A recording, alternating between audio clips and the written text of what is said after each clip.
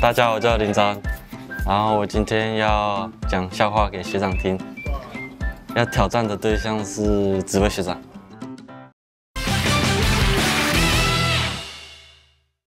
学长，你以前当菜鸟的时候有这样吗？我那时候是讲给大饼，大饼准备他听，啊，他有笑吗？当然没有。最后有惩罚，有啊，好像弹额头啊，很痛吗？痛啊，怎么那不痛？是这样弹，认真的弹，认真的，很讲的是对。快点哦，开始了。我先讲今天应该没有。罚是什么？惩罚哦，因为我觉得我不太会弹人家额头。你说弹耳朵也不会痛。如果说拿橡皮筋弹人中，我可能可以，呃但是现在不要那么狠。我今天就罚他来个六胜好了，好不好？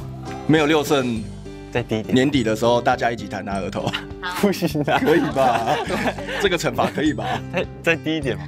不不行啊，上次已经被你达成过了。好，去年是局数嘛，哎，局数跟中继点，，中继点，对，其中有一项达到，就达到多少？然后有那个十五局吧，我就是十五局，然后哎两点而已，两个中继点还是？两个中继点，然后就有那个游戏片，一个顺手这样。你们几个人一起送他？我我古林 Robin，好像应该是古林古林想出来的点子对，吧？是怎么会一开始为什么会想这个？因为那时候我们都在玩这个游戏，然后那时候招行好像还没买，然后可能那当当刚出的游戏片，那个价格比较高，对，然后他就，然后我们后来想想，好，那我们给你一点鼓励好了，然后我们就给他这个目标，然后他说好，结果明明就很简单，找一下那个比较比较多一点的，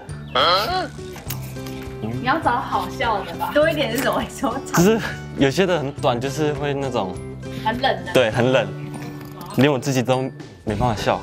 你又很少在笑了吧？然 后这个啦，医生问小明，如果把你一边耳朵割掉，你会怎么样？小明说，我会听不见。然后医生又又说，我把你另另一边耳朵又割掉。嗯啊，小明小明又说，哎，小明说我会看不见。啊，医生说为什么看不见？你知道为什么吗？为什么？因为他说我近视，因为我要戴眼镜，懂是吗？他割掉两个耳朵啊，没有戴眼镜会看不见，就这样子，你看到你嘴巴在发抖，这没办法笑这个，太难了，我再加一个，我觉得你的反应比较好笑。他努力演生动。了。对啊，我没办法盯哎，没办法，网络上的笑话就是这样嘛，就是不好笑，对啊，太难了啦，我找这个，就叫你找沈玉琳的了吼。沈玉玲的是影片，没办法，影片的我记不起来，啊这个，那个。老师说海水为什么是蓝的？然后一个学生说，因为海里面有鱼。然后老师又问为什么有鱼，海水就是蓝的。小明说因为鱼会吐泡泡。知道什么吗？鱼不露不露不露，吐泡泡，不露你你有 take 他的嘴巴？不噜。我看一下，不噜不噜不噜，吐泡泡，可以吗？这样可以吗？笑话我是觉得还好，但是他已经很努力了，哦，嘴巴已经在抖了。对对对对，我没办法了。所以你觉得挑战？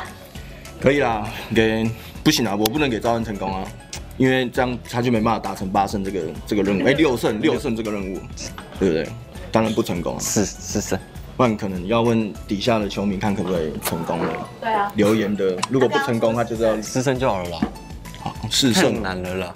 那那折中去年一胜都没有。折中五胜。